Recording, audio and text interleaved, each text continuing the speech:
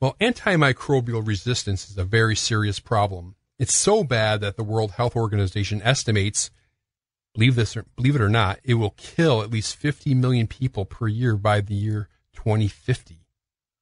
Well, I came across this case study that at least offers a glimmer of hope in this uphill battle, uh, where a patient who had this horrible antibiotic resistant bacterial infection was very close to death and he was treated using an experimental therapy involving bacteriophages.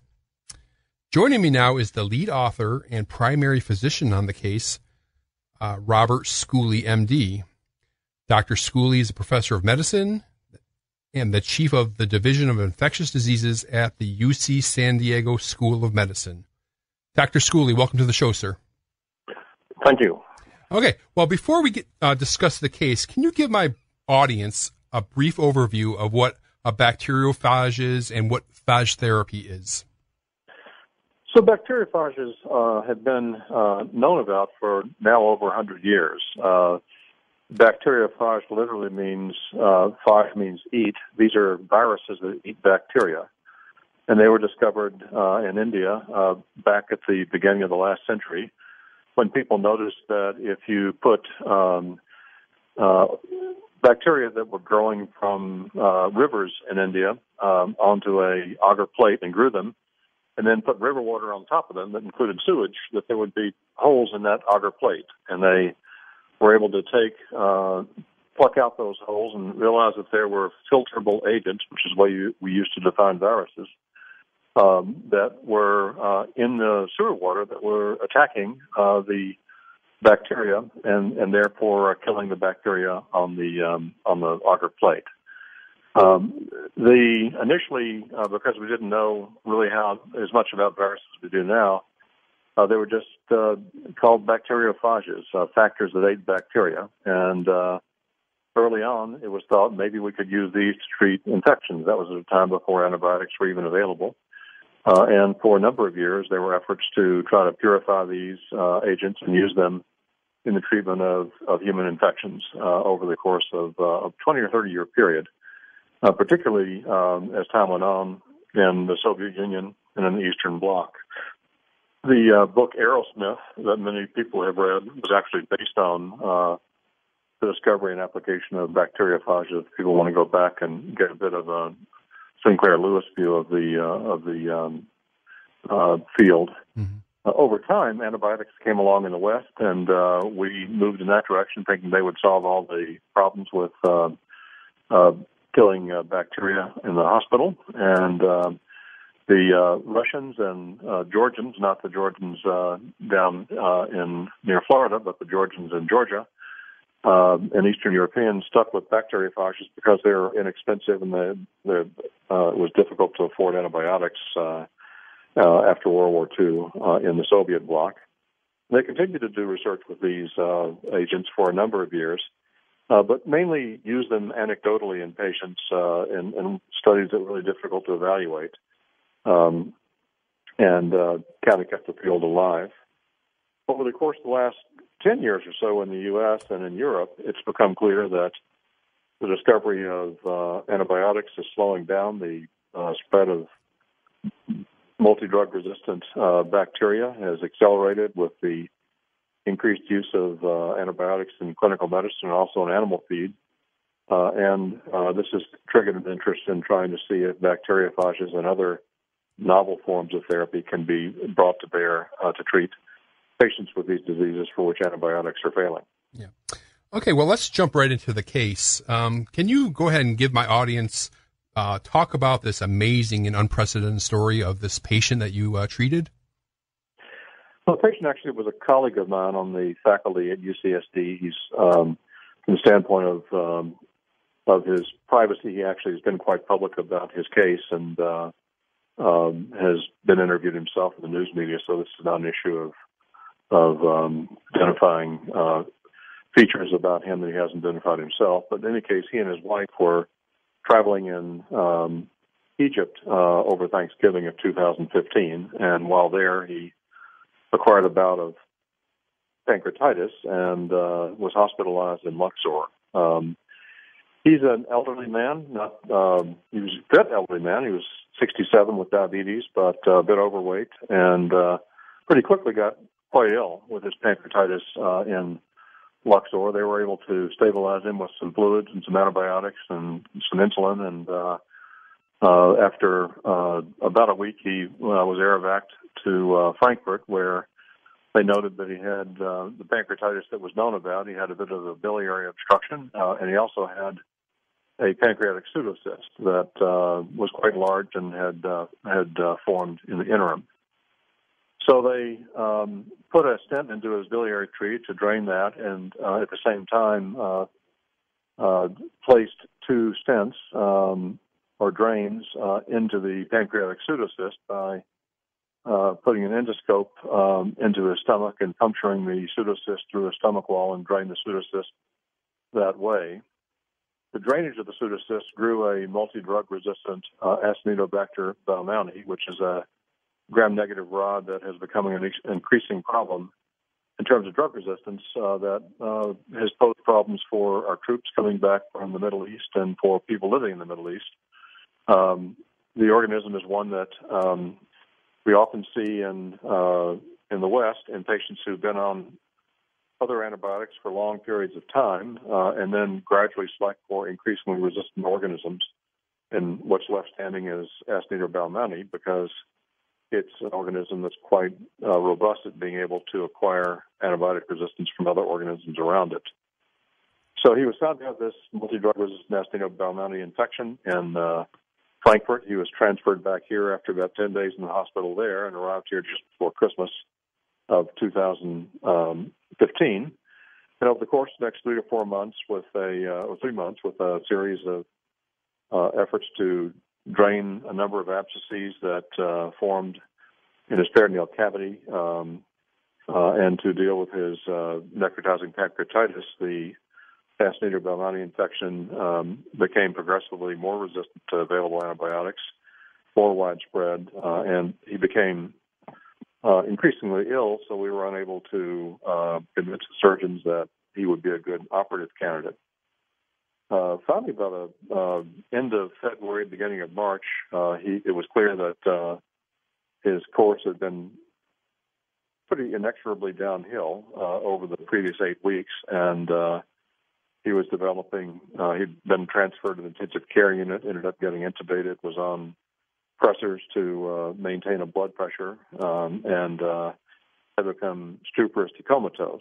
Um, a friend of his wife, who is an infectious disease epidemiologist, mailed her or emailed her uh, an animal study about uh, bacteriophages, and um, she became intrigued by these and called me and asked if we'd be willing to consider treating her husband with them. And uh, at the time, I said, "Of course, we're not getting very far with traditional antibiotics. I'm happy to consider anything." And uh, the uh, his wife got on the phone with uh, Ry Young, who is a very distinguished microbiologist who works with bacteriophages at Texas A&M University, and uh, Ra listened to the story and said, "You know, I've never done this before for a patient because I'm a research lab."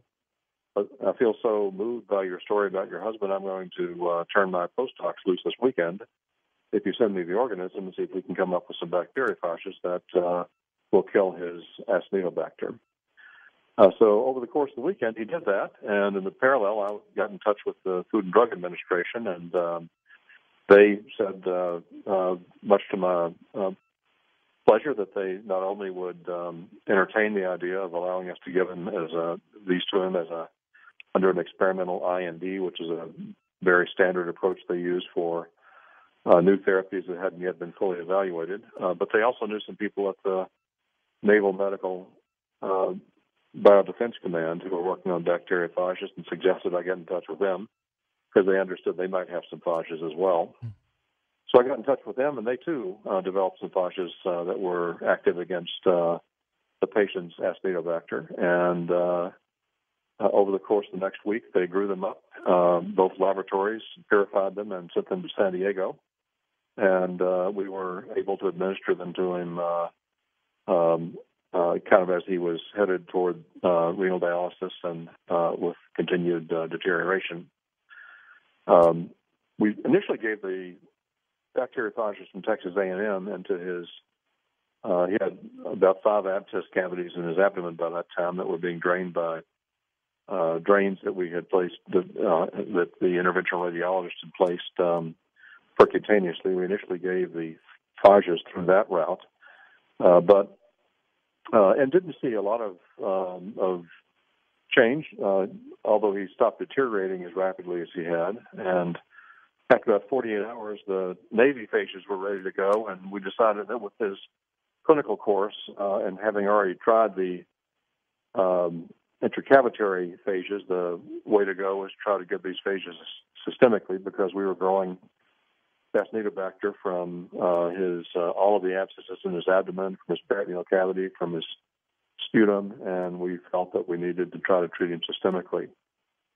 So we began to use the bacteriophages intravenously on a Thursday evening, and by Saturday, he um, his pressor requirement was dropping rapidly. He opened his eyes, recognized his daughter, and over the course of the next several months, with a fairly complicated course that we would expect from a patient in an ICU with his underlying uh, diabetes who'd been debilitated by being intubated for as long as he had. Uh, he gradually got better, and he's now back here at work as a uh, professor at UCSD. So it was a very gratifying uh, experience and uh, one we were really pleased uh, happened for him. Yeah, great news. Now, do bacteriophages do they get resistance like an antibiotic does? They do, and that's one of the things that has been going on for millions and millions of years. We're we ourselves are uh, kind of a Darwinian chamber of uh, we have a gut full of bacteria that are being constantly attacked by bacteriophages. The bacteria in our gut develop resistance to the bacteriophages, and the bacteriophages evolve so that they can next generation of bacteriophages can attack the next generation of bacteria. Gotcha. So this is uh, something that um, is um, is probably the best example of uh, kind of ongoing selection uh, in biology, um, in that uh, phages and bacteria have been in uh, close contact with each other since um, both of them evolved from um, from non-living material, if you will. Right.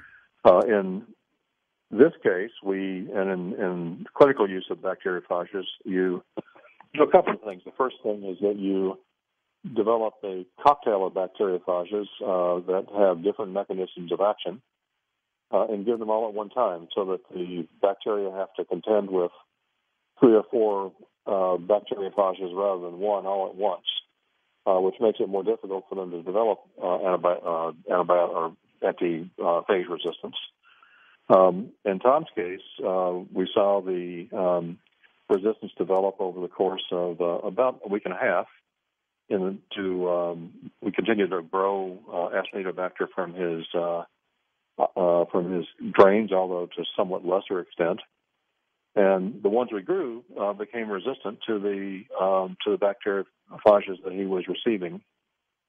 So the Navy took those new uh, bac- uh, bacteria that were resistant to the first generation of bacteriophages, developed another cocktail. So you can do the same thing in the laboratory that goes on in a patient and develop successive uh, generations of phages to attack uh, the bacteria in front of you. Interesting. Um, I know you're short on time, Dr. Uh, Schooley, but uh, quickly, what is the future of phage therapy in the U.S., and will you be doing any, doing any follow up research on this? Well, you know, it's a, this is a very early um, demonstration, really, that it's feasible to do. I have to be, uh, I'm, I'm a quite conservative, um, circumspect person. I can't tell you right now whether or not we're certain that the phages were what turned him around. As his physician, uh, it certainly from the standpoint of looking at his clinical course, it was quite convincing to me that we were getting nowhere with antibiotics, and his course turned around when we administered the bacteriophage. But right. I think more important than whether or not, in this case, this was the thing that made the difference, regardless of what I think, what is clear is that it's quite feasible now with the technology available to uh, isolate an organism from a sick patient that you can't treat with antibiotics and to within a relatively short period of time come up with bacteriophages that can be given clinically and that we clearly showed in this case uh, had an impact on his organisms because they developed resistance to it. Uh, some experiments I haven't talked about, there's evidence that they changed their capsule and were less um, less pathogenic. And I think that um, the it's quite feasible to do this now. Uh, the trick is going to be figuring out how to more rigorously evaluate it so that we aren't in a situation uh, uh, in which uh, we have, oh yes, it seems to work, um, sorts of statements without rigorous proof. And that'll require the same kinds of clinical trials that we've used to develop new antibiotics and uh, and other um, uh, drugs over the uh, over the years. One of the pieces of good news is the FDA uh, very much understands both the very um, tenuous pipeline of new traditional antibiotics and the serious problem of multi-drug resistant bacteria. And so they realized that uh, new methods are needed. They were very helpful, actually, in this particular case, in providing uh, advice about how to use the bacteriophages, and were very proactive from a regulatory perspective, and have been thinking a lot about how best to evaluate these agents. So I think that with the right kinds of clinical trials uh, and a, uh, an agency that at this point is really quite enlightened about this being something that needs to be evaluated, uh, clinical trials can occur, and we'll learn as time goes on um, how to use them and if um, if they have an effect, and if they do, what the best patient populations are to uh, uh, to benefit from. So I, I think it's at a point now that uh, we should begin to think about planning um, more structured clinical trials. Excellent. Well, thank you, Dr. Robert Schooley, for your time and expertise and sharing this remarkable story with us. I appreciate it. Sure. Good luck. Thanks. Bye. All right. Bye.